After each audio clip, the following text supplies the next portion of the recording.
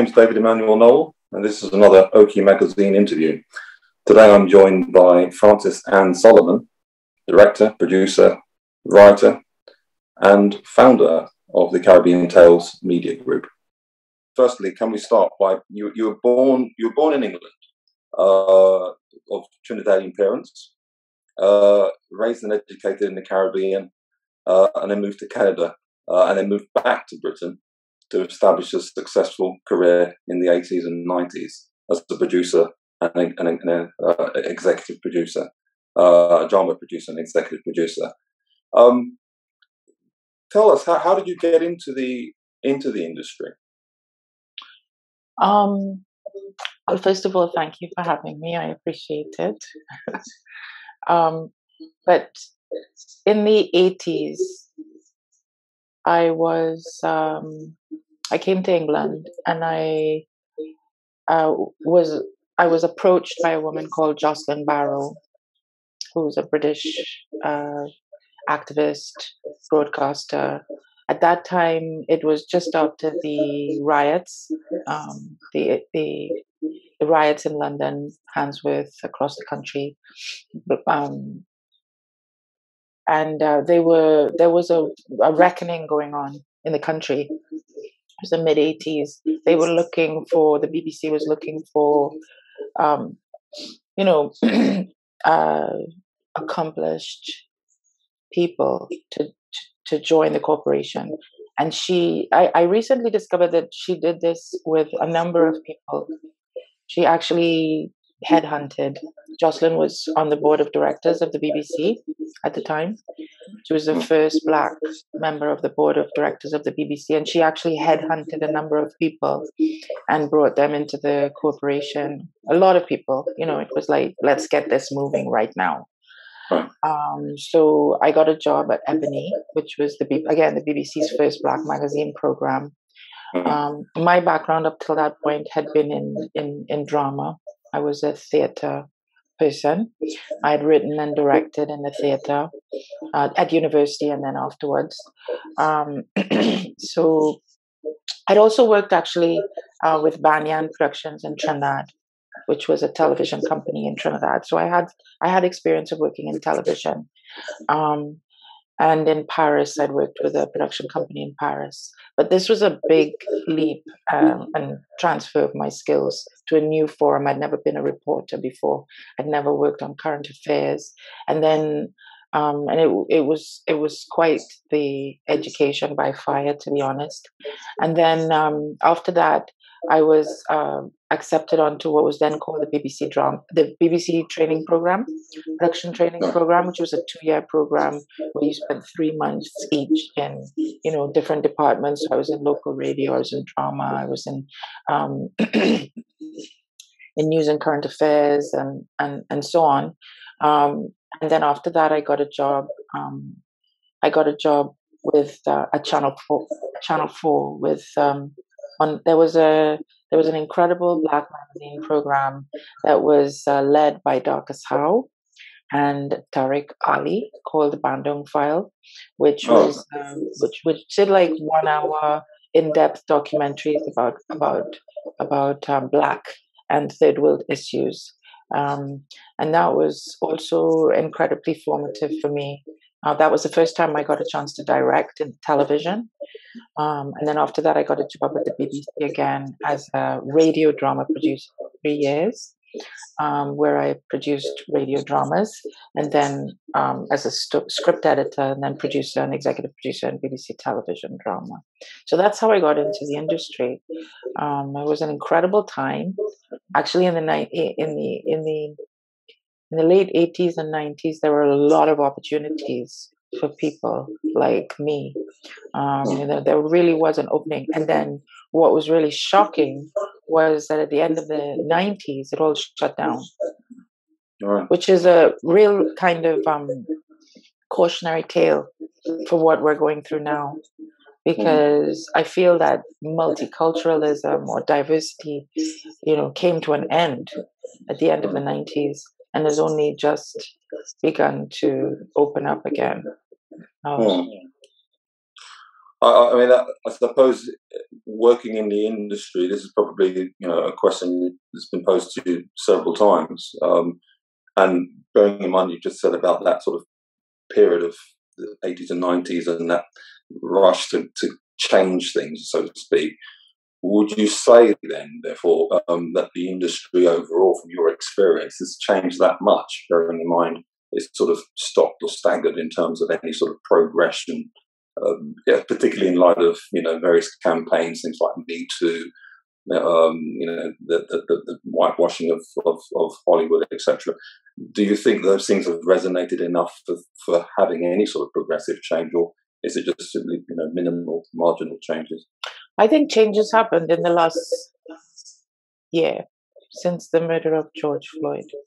Right. It seems like it was a tipping point where finally um, you know, it was like all of a sudden the dam broke. And um, for the first time, I saw white people actually getting it, you know. And I think I have to think that this is different. It can't go back to what it was before. But it was horrendous the way that between about the late 90s and almost last year, although there was some small, very, t- I mean, there was some tiny opening happening from around 2015, 2016, with, like you said, the the the um, Oscar So White big movements began to be made to diversify the academy. Um, but you know, as as as a general movement, it really nothing changed until the middle of last year, and then all of a sudden, things seem to to flip over. Hmm. Right, right. Okay. Well, uh, and I do think I do think it's a different, it's a completely different moment now. You know, there are opportunities, there are discussions, there are transformations going on in industries that I do not believe can I cannot believe are reversible because mm. of hmm. the fundamental nature of the changes that are going on. Having said that, parallel to that, you're seeing this rise in white nationalism, rise in um, you know dictatorships around the world, hmm. um, and um, you know that is also terrifying. It's very mm. sobering. Mm. so while you know generally liberal institutions are you know taking up the challenge of transformation in a in a in a substantive way you're also seeing this rise of violent white mm. extremism you know i guess that also um, illustrates the the responsibility and power of filmmakers and filmmaking in terms of how um, without being um, politicizing or, or being politi- political by default. Um, you, you are, in some respects, being able to combat and challenge them, those sort of um, uh, lenses in which people are actually viewing the world, in which people are are looking at politics, looking at societal issues. So I suppose um, uh, it, it is it is an empowering period in which you know, filmmakers and artists in general can can hopefully influence. influence I think so. I think it's, yeah. it's a, I think I think this is this is a moment, but I'm not sure how much we can influence those who are not, you know, already. We're preaching to the choir in a way because I'm not sure what effect we're having on the mm. other half of the population. You know, it's literally a 50 50 split everywhere, you know, mm. so it, it's very disturbing. Mm-hmm. well, hopefully, as I say, it's um, it, it, the influence of uh, individuals like yourself will will power through. Um, fingers crossed. fingers um, crossed. Fingers crossed. Uh, with regards to your own career, I mean, you've you've you've won many prestigious awards. You've um, uh, you've got lots of accolades. What would you say to date has been, I don't know, your most proudest achievement, and why? I don't think there's any one proud achievement because um, you know whatever I'm working on at the time seems you know really takes over my my mind and I'm very proud of of what I accomplished just because I work really really hard and I enjoy what I do. You know, I enjoy um, the stories that I'm able to tell um, and sharing those with audiences. So I wouldn't say it's one it's one thing, you know. Um, I can't really say that. So whether you know I go back in time and talk about you know my career at the BBC, um, you know I'm proud of a lot of the things that I did there, um, from bringing on you know black staff and crew and opening you know the door to many people who at the time you know to producing shows that i'm still proud of you know mm. um, to working as an independent and uh, starting caribbean tales. I'm incredibly proud of caribbean tales. I'm incredibly proud of the films that i've been able to make. So um you know i i really have um had the privilege of being able to to work in to do work that I'm proud of, you know. And and I I feel that when I die, I'll be able to look back and say, you know, that I I'm happy, you know, I, I, that I'm satisfied with, with the way it went. Yeah. Sure. You've, you've left your legacy. I don't know about sure. the legacy bit because who knows what will survive you, you know, mm-hmm. very little for most of us. But I feel like along the way, mm. I'm pleased with I'm happy, you know, and satisfied. Yeah. Good, good. And regarding your work, can you tell us more about your your recent project, uh, Hero? So Hero was a project that um, Ulrich Cross, who the film is about, was a friend of my family. Um, he was, you know, Uncle Ulrich to me. He, I knew him as um, an older gentleman very you know respected and who had served in the Second World War um, as the most um, decorated um, uh, navigator in the RAF. So that was his reputation, even there, even when he was alive.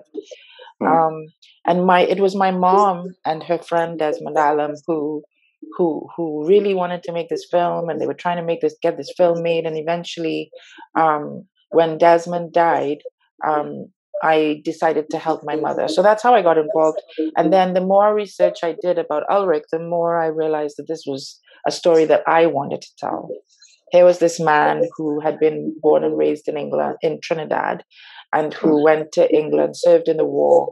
And then after the war, he was recruited by George Padmore, another Trinidadian, to go to Ghana um, to help with the um, with the liberation process um, on independence. Ghana was the first um, African country that became independent in 1957. So here was a story that that that joined the Caribbean and Africa um, in the 50s in a way that I think a lot of people don't know the role of, of, of, of the Caribbean, the way that the kind of pivotal um, role that Caribbean intellectuals and professionals played in the African liberation movements. And the way that it was like a call went out at that moment in time, you know, hmm. to bring people from the African diaspora back to help to decolonize, to, to bring independence to the African continent. And there was a dream of a United States of Africa, you know, that that was that was being hatched and that was subsequently undermined and destroyed by the by the um, by the colonial powers and America because they had a vested, vested interest in Africa remaining kind of feeding ground of the you know it's the most um, it's the most um, resource wealthy continent on the planet. There are more diamonds, gold, you know, all kinds of other, you know, precious minerals in Africa than anywhere else. So they had no desire or intention of allowing that wealth to go to Africa. It was propping up Europe. It was feeding America. So, so they destroyed the way that the way that the colonial powers destroyed the dream of African independence and autonomy and wealth. I thought was an important story for people to know.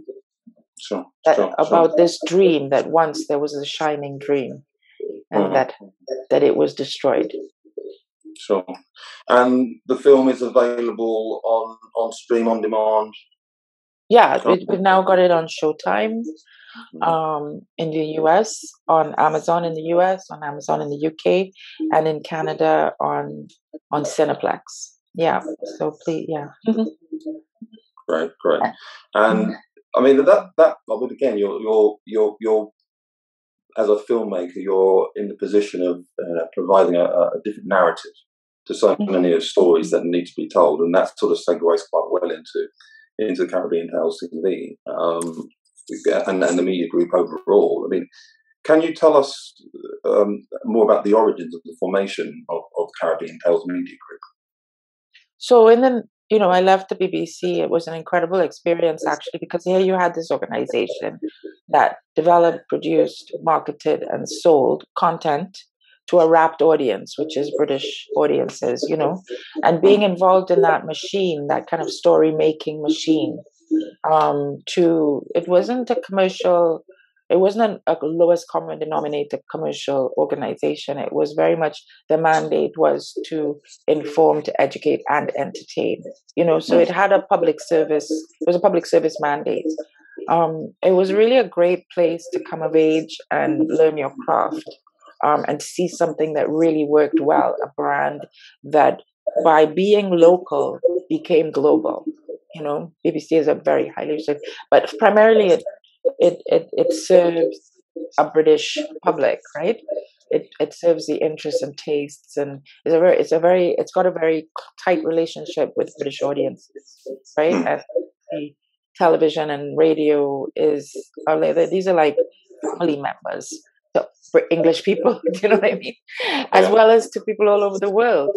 Um, hmm. so having that model in mind, uh, but they, of course, the only thing they didn't do really well was serve people of color, you know. Uh, to, they didn't do a good job of telling our story. So I really wanted to um, have an organization that would, you know, deliver that pipeline of creation, production, marketing, and sales, right? Um, but that would do that with our stories.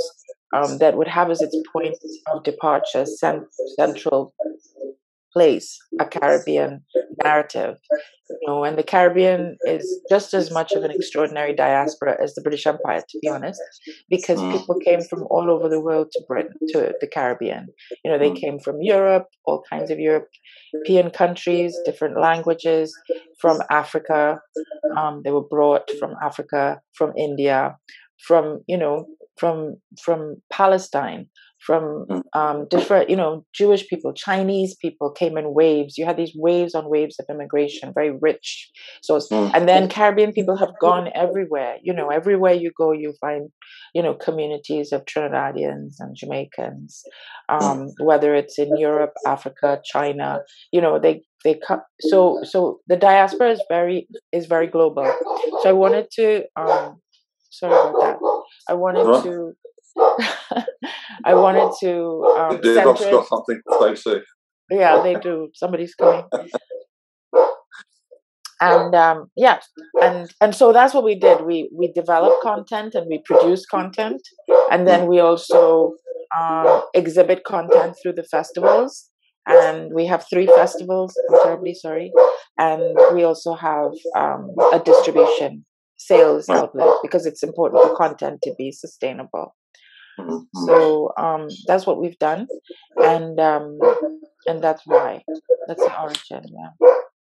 So I mean, in terms of um, obviously you provide a, you know, um, various platforms. You also um, uh, have a, a, a directors uh, seat, a monthly sort of directors um, talk where you're talking to filmmakers, and uh, so there's also that sort of educational uh, camaraderie amongst filmmakers that you provide. Um, uh, is that? Uh, I mean, again, that's presumably that's very well received by by um, by by stakeholders, by people who are following Caribbean Tales. I, I, th- I hope so. Thank you. Yeah.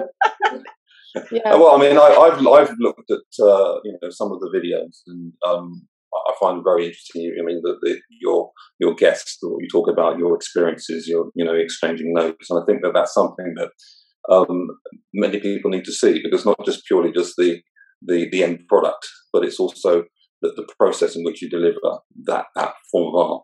Um, so it, it is sort of again a whole sort of supply chain of activity for people to be exposed to to to know how these things are, are formed and, and what it takes and what struggles, if, if any, are, are behind the scenes in terms of developing programs and projects that for particularly underrepresented groups.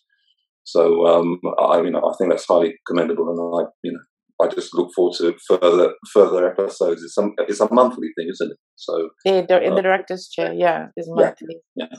yeah we also have yeah. a global uh, global networking where we bring together um, industry practitioners from around the world to talk mm. about um, their their different perspectives.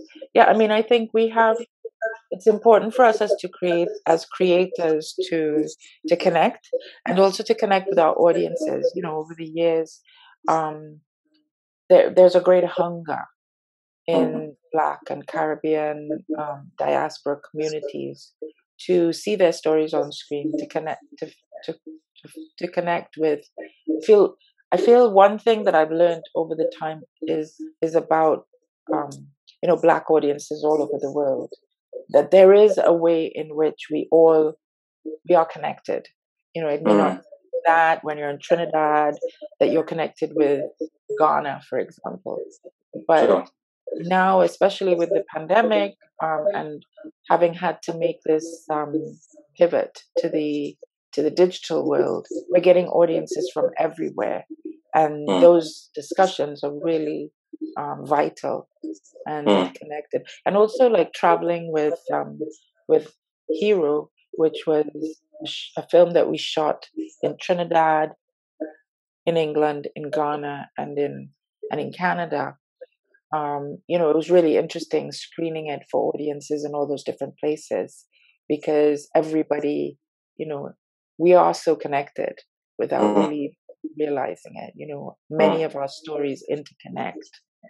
Um, would you say? Would you say the stories or experiences, um, whilst I, I one would presume that they are slightly, you know, different in terms of different perspectives, American perspective or European perspective. From your experiences and your dialogue with filmmakers and audiences, would you say that there are any distinct differences or uh, expectations or um, that sort of come to mind in terms of um, filmmaking or even the narratives and stories that they want to want to capture? Are there any things that are, are quite distinct and different from from from each continent of dias- of the diaspora?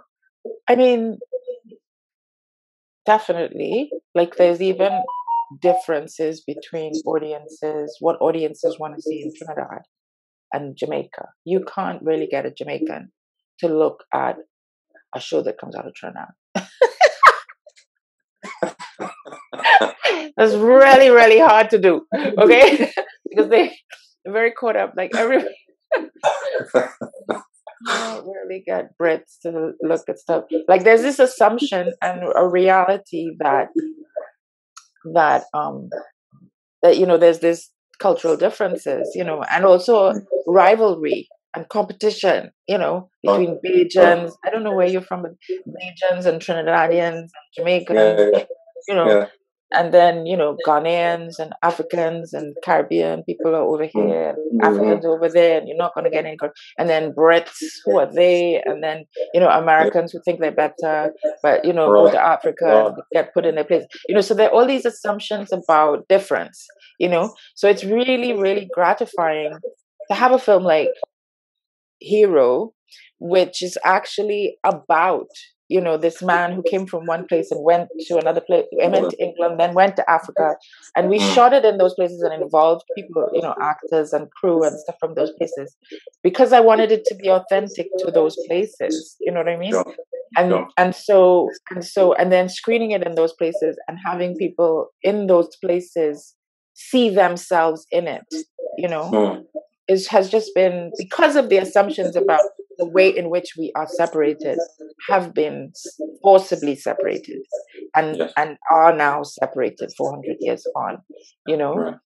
um it's it, it's enough it's it, it's it's very very emotional to travel mm. with a film like that and have audiences everywhere be touched you know so that trinidadian audiences obviously get it because guy was from trinidad there are other trinidadians who had experiences that were similar. And then in England, you know, the whole thing, you know, because he, you know, the whole British colonial thing is very strong. And so a lot mm. of British got it, you know, really appreciated it.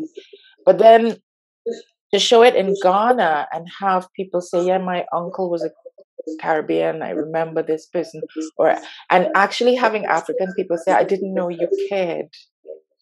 You right. know, like right. Nigerian people, you know, say, you know, um, what, a number of African people say, what I took away from it most was that we didn't know that you people over there actually cared about us. You know, we thought you left us. Mm. And then, yeah, it was very moving. And then screening it in America, where, you know, they're like, yeah, I remember that. I was, you know, that was like, because a lot of people in the 60s and 70s and 80s were involved in the Pan African movement, you know, and so saw themselves in it. So um, it was really, it was really, yeah, we can talk about hip hop and we can talk, that also talk about um, you know the, the the cultural differences but then if you go deeper there's so much that connects us you know yeah and yeah. ultimately it all goes back to that journey mm. from africa that you know whether you were there or you were taken away that it was a trauma that has not been healed that continues to resonate through our stories and our mm like that to tell a story about Caribbean people who returned to help, you know, like a hmm. boomerang, yes. you know, yeah. who returned to help with the liberation that they were, you know, that they, these people were taken away in, you know, forcibly, survived the journey.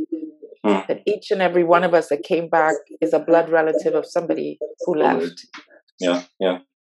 Who left yeah. forcibly, and that we're back now and we're here to help.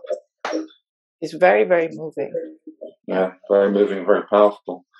And and in in terms of again, uh, you kind of you know answered the questions in terms of the the, the differences, but there's also a, a, a um, some sort of method in terms of selecting films for the process of the, the festivals. So, I mean, you've got this uh, the the Cinefam um, and uh, the Windrush um, festivals forthcoming. Um, what what can audiences expect in terms of the type of um, films and the documentaries that uh, are programmed for this for this for this festival season? So we have three festivals. Um, Caribbean Tales is our is our oldest festival. Is our 16th year, and you know, with Caribbean Tales, we try to tell um, stories from the Caribbean um, that that resonate with the Caribbean, whether they're from the Caribbean or from the diaspora, um, that are you know that reflect the kind of incredible diversity of our experiences. You know that mm. no, we have so many Caribbean stories to tell. You know, there's no one story. You know, um, so whether it's a comedy, a tragedy, uh, you know, documentary, uh, with whatever the subject matter, but really that that um, that speaks to the Caribbean experience um, or resonates with Caribbean people. And then the other, and then Cinefam was created five years ago to to tell the stories of women of color, and so that's what we do. You know, we really it's an international network. We, we, we because our funding comes from Canada, we focus a lot on Canadian um, mm-hmm. films by Canadian women. Mm-hmm. And you know, because as a woman of color, I feel like one of the things that we've had to um, fight against is just visibility. You know, for so many years we were just invisible, but just you know, giving a spotlight to to women, to women of uh-huh. color filmmakers, especially as directors. You know, there's this kind of resistance to put, even though women make people, right? like maybe because women make people, they have the power to make people. It's really important that they never have creative power. So it's like uh-huh. acknowledging the creative power of women Oh my goodness, I've got this drill going on here. Anyway, I hope it's not too distracting.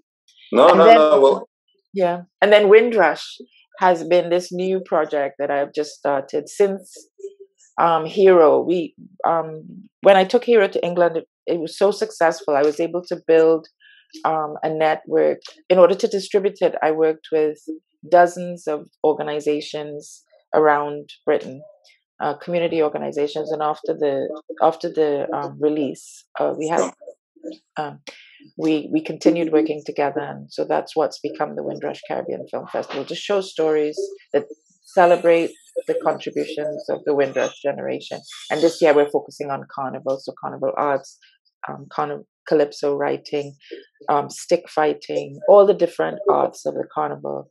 Um, okay. Yeah. So and cool. it's discussions and films and so it's very great.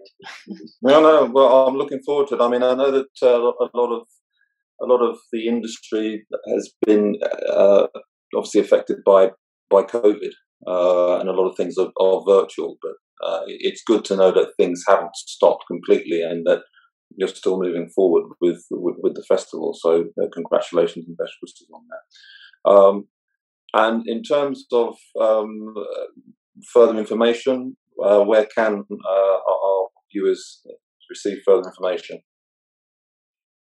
Um, so Caribbean Tales, CaribbeanFestival.com. Um, then Windrush, WindrushFilmFestival.com. And that's going to be our film festival up. And then Cinefam is cinefam.ca. Great, great. Okay, well, thank you for that. And we will make sure that uh, we will try our hardest to um, help promote and celebrate uh, the festival and all your activities moving forward. So uh, thank you very much, Suzanne.